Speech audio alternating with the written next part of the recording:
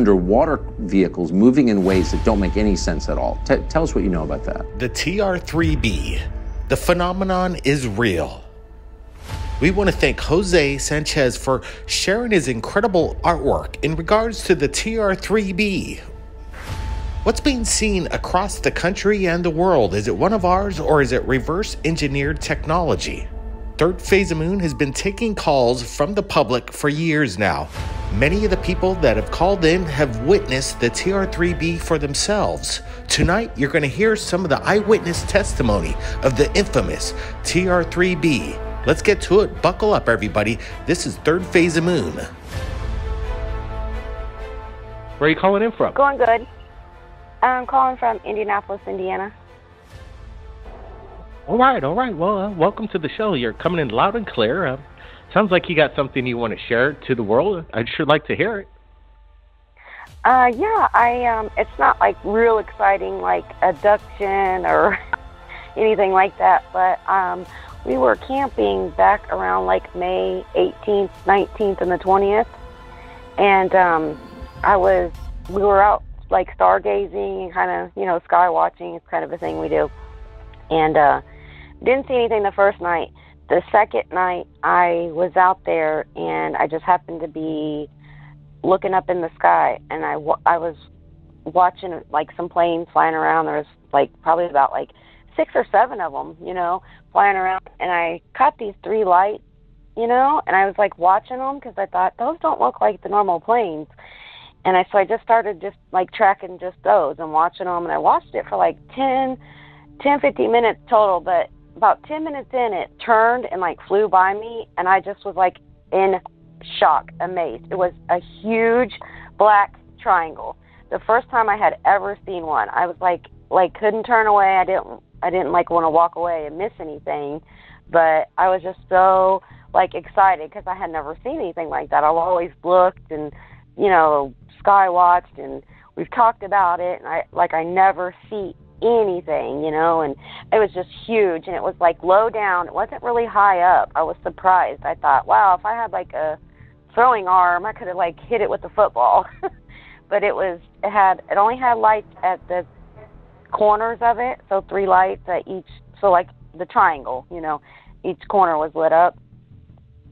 And it just sat there, silent as can be, did not move, just hovering above me for probably a good like five to eight minutes. Like I was just like, wow, like I couldn't believe how huge it was. Like huge. I would say like as big as a Walmart, you know? And um it was silent, no sound at all.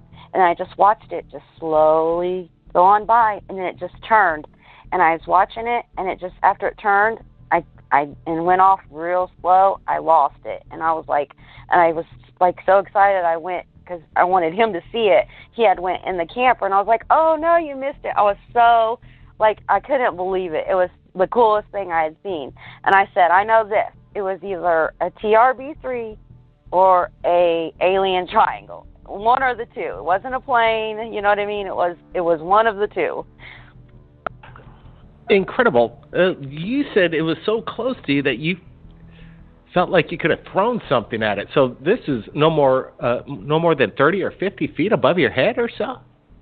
Um. Well, I, I wouldn't. I I wouldn't say maybe that close, but like, um. Okay, there was a tree not far up, like too far um in front of me, and it wasn't like much higher than the top of the tree. You see what I'm saying? It, it, it, compared to like a plane flying by, or helicopter or something like that, it was nowhere near as high as that. You think anybody in the neighborhood uh, spotted the same thing you did? Was there any reports talking in the town about this sighting you had? You know, I'm not sure where we were camping at. Like I, I seen like some people were out, but like I seen people were outside. But I thought, I wonder if they're wondering why I'm like just standing in the middle of the road because there was like a like a little road to like go to up to like the shower house and stuff.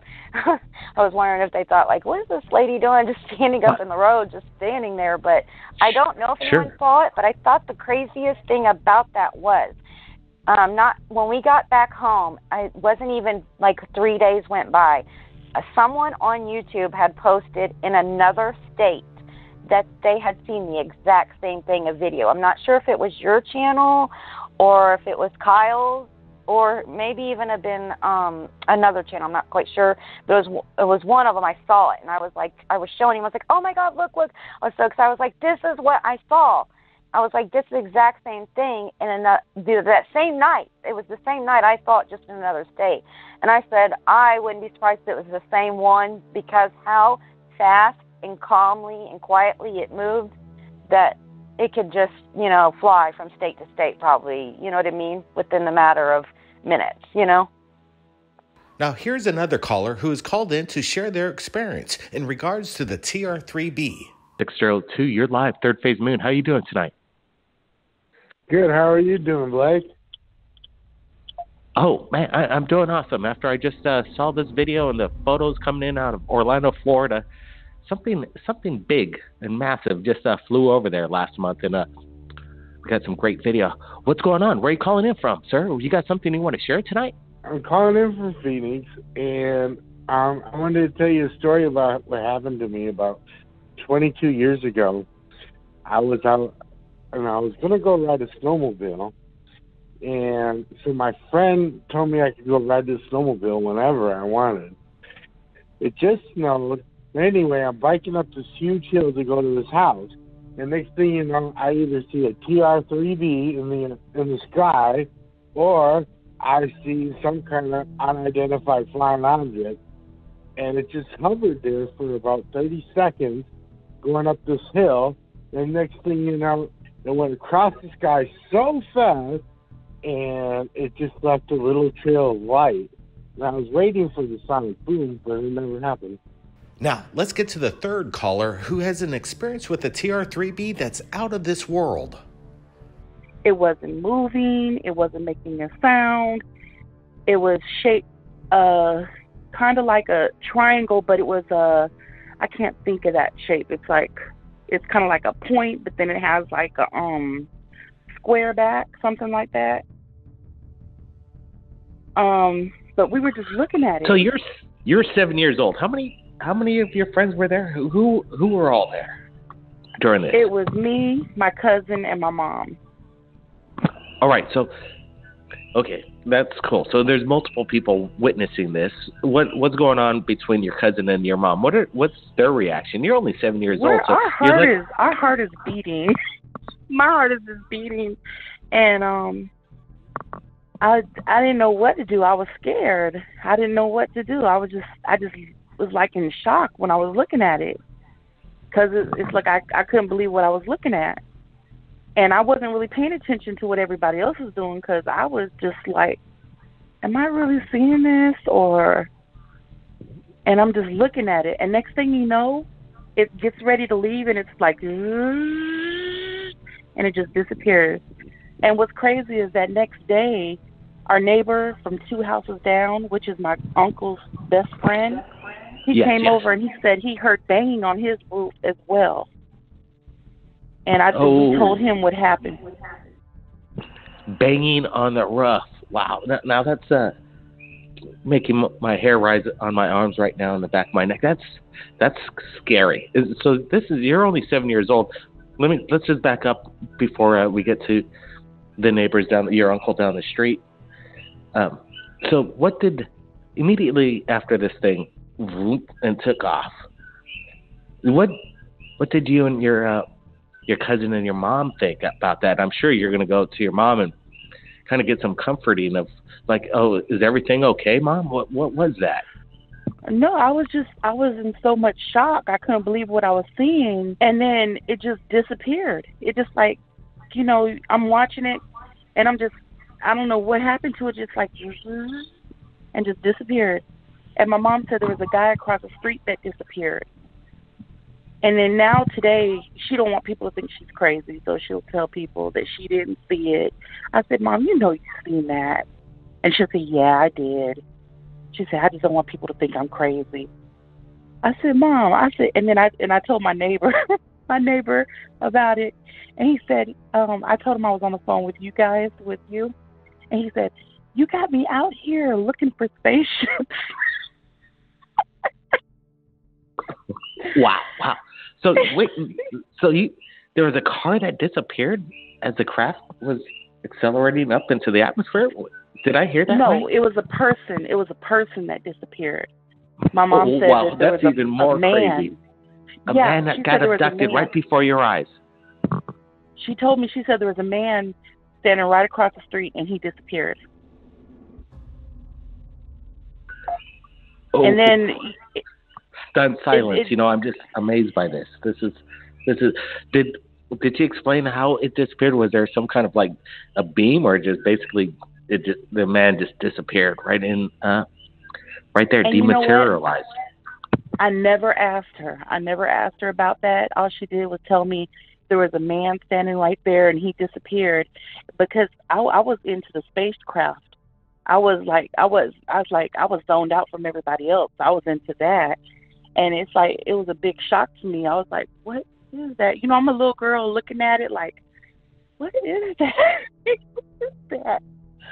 and you Well, know, I, what? you know, I can understand how, why you're excited right now, and man, and people are really amazed on your story right here on the flash chat. But okay, exactly.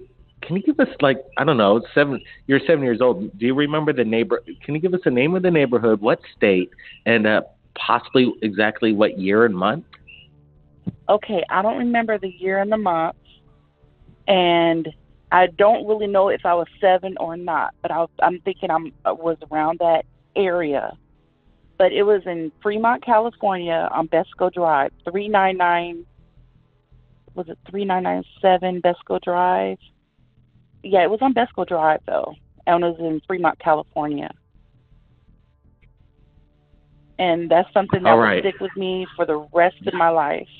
Yeah, that's you know, you would think that once you experience something like this, it never leaves you, and that's what's uh, great about UFO sightings and alien encounters, and you know, witnessing a, hu- a human abduction right before your eyes, and your mom's saying this, and she was afraid to tell anybody. They weren't things like this. Third phase moon wasn't around during those, these days. I bet you, if it, those days, I bet you, if third phase moon was around when No, you were seven years old. crazy. She would have called in and crazy. shared this with us. Yes, I would have, because you know it's like now that I'm older, I'm always looking for answers. I'm always trying to see if I could see it again, and like I I I, I subscribe to your channel and also Secure Team Ten, and um I love you guys, and I'm thinking, you know, maybe one day, you know, this is kind of a neat experience for me because you know I'm actually talking to someone who who really is interested in my story everybody else thinks, okay, she, no, that's not true. That didn't happen. But they weren't there, so they really don't know. No, no, no, no, wrong. We are. That's what we're so interested in this stuff. That's and to get it out to the world because there's so many people like you, Christy, that have experienced it. Uh, I don't know about the exact same thing, yours is quite extraordinary. This uh, circumstance. Seven years old, your mom and cousin were there. Let's uh, let's go in. So a couple days later, your uncle said he heard banging on his rooftop. Yes.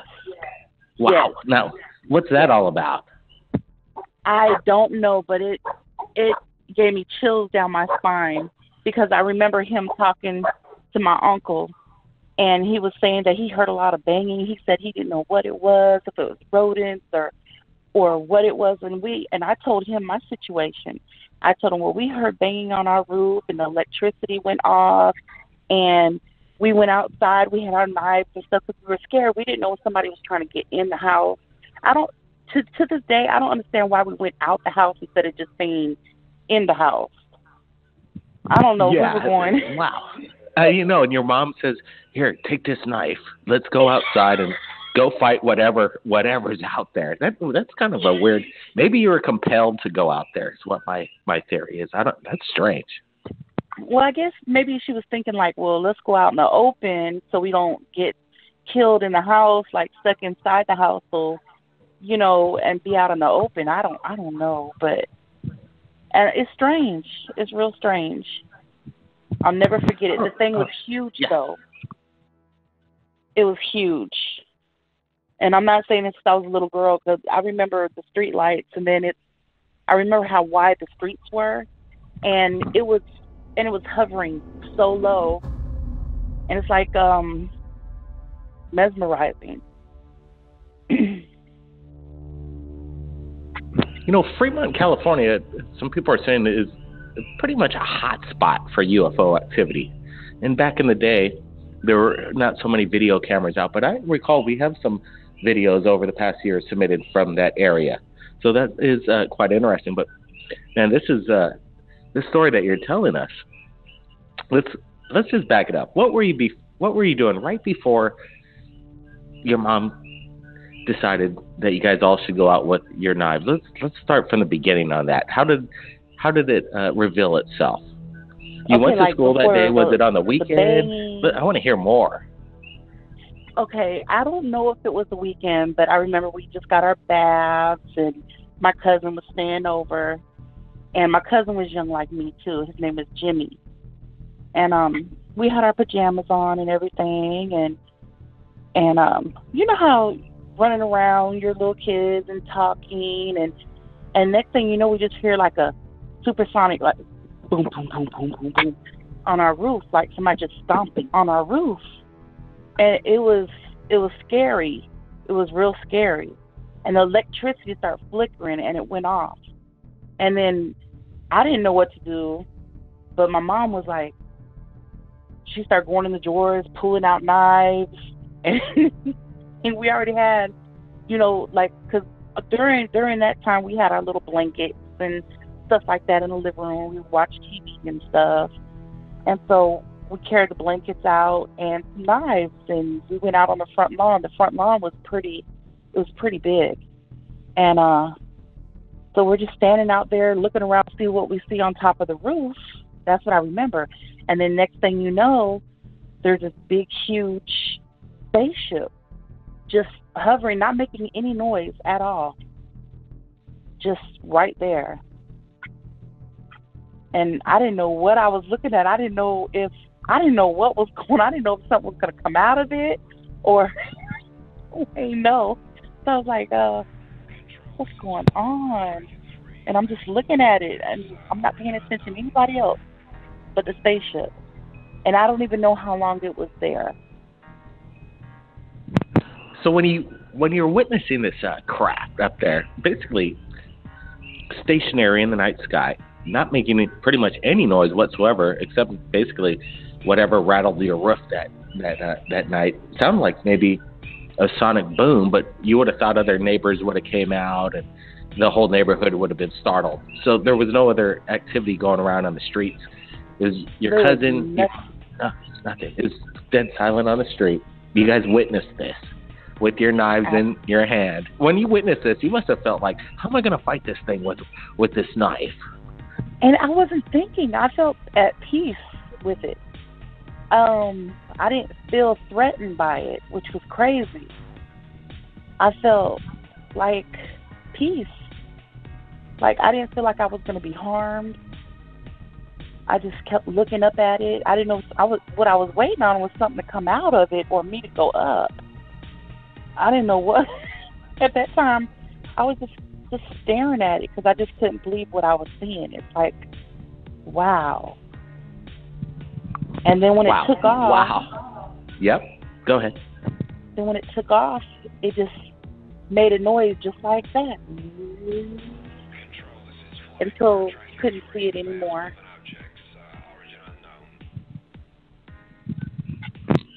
So you went back inside the house. What what did your mom say after that? Like, did you guys kind of like bounce bounce off each other, like what you guys just experienced? Because I know after seeing a UFO, you want to talk about it. Absolutely. And my heart was beating so fast, I couldn't believe what I was seeing. And then my mom started talking about the guy across the street. It's like I was more into the spaceship, she was more into the guy disappearing. So, and then we would talk about it. My mom, she didn't want me to talk about it anymore because she said people would think we were crazy and, you know, and oh, we didn't see that, and, and try to be kind of like nonchalant about it, you know, like.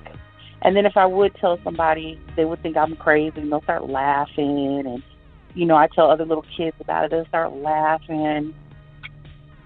So I was like, um, and it's now I'm all into the Nibiru planet and and I'm all, you know, watching about UFOs and just hoping one day I'll see another one. It's like I'm always looking in the sky. Only thing I see now is chemtrails. I don't see anything anymore, but that's yeah, that's something that I will Yeah. never forget. Sure thing. Yeah, you're looking for the good stuff from when you saw this stuff when you were seven years old because uh, what you saw that night sticks with you, and that is just an amazing, a wow moment for Third Phase Moon Radio because what we just heard tonight, people, is it's about as good as it gets from uh, the testimony. You can't make this stuff up. Wow, uh, I gotta thank. I gotta thank uh, you, Christy, for sharing your experience. Let me get it right. Is it Christy or Cookie? People are like saying, It's Cookie. okay. Oh, but that's ah, okay. that's- I just let I just let you keep going with it. Wow, that's a such a great name, Cookie. Cookie. If your is your mom still uh, with us? well, my real name is Jennifer, and um, everybody calls me Cookie. That's just my nickname. But yes, my mom, she's still here. Wow, we if she uh, has enough uh, guts like you, Cookie, to come on uh, third phase of Moon, we'd sure like to have her on. So, you know, a personal invitation. We'd sure like to get her side of the story on that. Uh, because what's more weirder in a day, to see a UFO or see a person vanish before your eyes, possibly into that uh, UFO that you just witnessed? Wow, uh, amazing, Cookie, Jennifer. Appreciate it. So incredible. I enjoy. I enjoy watching your show. Well, we enjoyed listening to uh, the people, like uh, you've just heard it, people. And uh, yeah, stay tuned. Third phase of Moon, more updates coming in. That's that's amazing. I want to thank everybody from around the world who joined us on this live premiere YouTube channel. Give us a big thumbs up if you enjoyed this, and if you witnessed the TR3B yourself, reach out to us. Tell us your experience, and if you captured it on video, upload it to YouTube, copy paste that link to my email. We'll take a look. Everybody, keep your eyes on the skies. Be safe out there, Blake Cousins. We'll see you real soon. confirms something that's been rumored for a while.